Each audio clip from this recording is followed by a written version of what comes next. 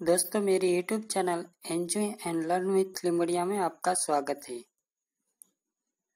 इस वीडियो में हम most I P question on biochemistry part B देखेंगे। मैंने पार्ट ए का भी वीडियो अपलोड कर दिया है तो वो भी आप ज़रूर देख लें।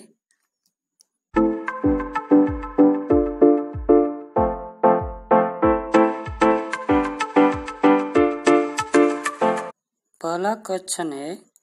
पृथ्वी पर सबसे प्रचुर मात्रा में पाए जाने वाला जैव अणु कौन सा है? पृथ्वी पर सबसे प्रचुर मात्रा में पाए जाने वाला जैव अणु कौन सा है? दोस्तों, इसका सही जवाब है ऑप्शन डी, कार्बोहाइड्रेट। कार्बोहाइड्रेट पृथ्वी पर सबसे प्रचुर मात्रा में पाए जाने वाला अणु है। नेक्स्ट क्वेश्चन है कार्बोहाइड्रेट का सामान्य सूत्र निम्न में से कौन सा है? कार्बोहाइड्रेट का सामान्य सूत्र निम्न में से कौन सा है? तो इसका सही जवाब है option A C H two O N C H two O N question number three carbohydrate क्या है? कार्बोहाइड्रेट क्या है? तो इसका सही जवाब है ऑप्शन बी पोलीहाइड्रोक्सी अल्डिहाइड और केटोन्स। पोलीहाइड्रोक्सी अल्डिहाइड और केटोन्स। क्वेश्चन नंबर फोर, पशुओं में ग्लाइकोजन किसमें जमा हो जाती है? तो इसका सही आंसर है ऑप्शन ए, पशुओं में ग्लाइकोजन यकृत और प्लीहा में जमा हो जाती है। Question number five. सबसे सरलतम कार्बोहाइड्रेट ट्रायोजन है। सबसे सरलतम कार्बोहाइड्रेट ट्रायोज है। निम्न में से कौन एक ट्रायोज है? तो इसका सही आंसर है option C glyceraldehyde question number six, polysaccharide में मोनोसेक्राइड किस से जुड़ते हैं? पॉलीसेक्राइड में मोनोसेक्राइड किस से जुड़ते हैं? तो इसका सही आंसर है option C, glycosidic bond. Polysaccharides में मोनोसेक्राइड ग्लाइकोसिडिक बॉन्ड से जुड़ते हैं। क्वेश्चन नंबर सेवन, सुक्रोज क्या है? सुक्रोज क्या है? यहाँ पे सही आंसर है option B, disaccharide. Sucrose disaccharide है।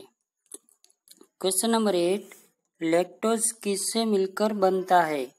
लैक्टोज किससे मिलकर बनता है?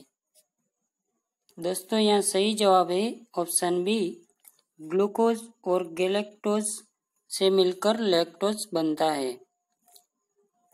क्वेश्चन नंबर नाइन, प्रोटीन से संबंधित ओलिगोसेकेराइड को क्या कहा जाता है? प्रोटीन से संबंधित ओलिगोसेक्राइड को कहा जाता है glycoprotein. Question number ten, maltose एक डाइसेक्राइड है, जिसके सेक्राइड कौन से है?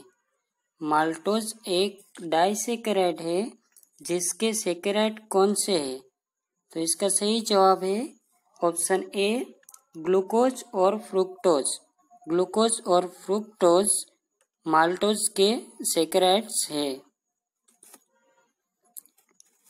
क्वेश्चन नंबर इलेवन स्टार्च जिसका बना होता है स्टार्च किसका बना होता है?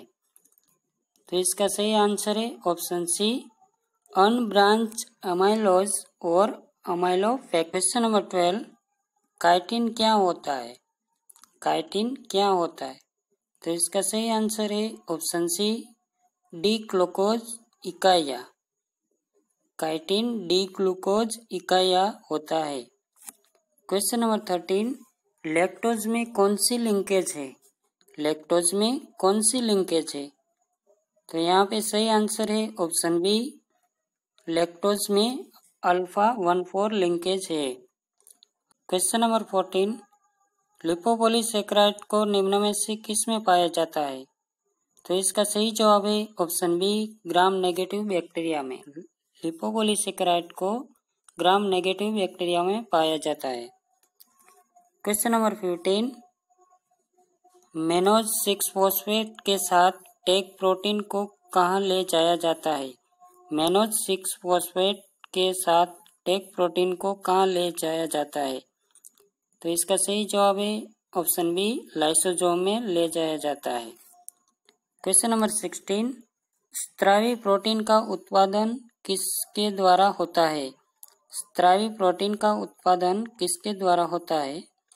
तो इसका सही जवाब है ऑप्शन बी, जालिका पर ribosome.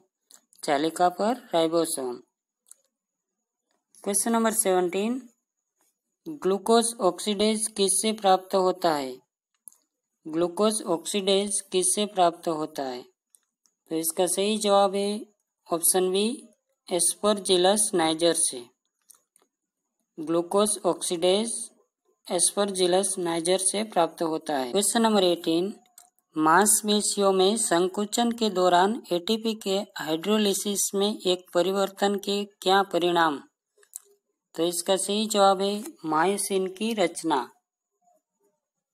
Question number nineteen haemoglobin में टी स्टेट से आर स्टेट का संक्रमण शुरू किसके द्वारा होता है? हीमोग्लोबिन में टी स्टेट से आर स्टेट का संक्रमण शुरू किसके द्वारा होता है? तो इसका सही जवाब है ऑप्शन सी ऑक्सीजन बाइंडिंग के द्वारा। क्वेश्चन नंबर ट्वेंटी प्रोटीन का प्रोस्थेटिक ग्रुप एक गैर प्रोटीन संरचना क्या है? प्रोटीन का प्रोस्थेटिक ग्रुप एक गैर प्रोटीन संरचना क्या है? तो इसका सही जवाब है ऑप्शन डी स्थायी रूप से प्रोटीन से जुड़ा हुआ है।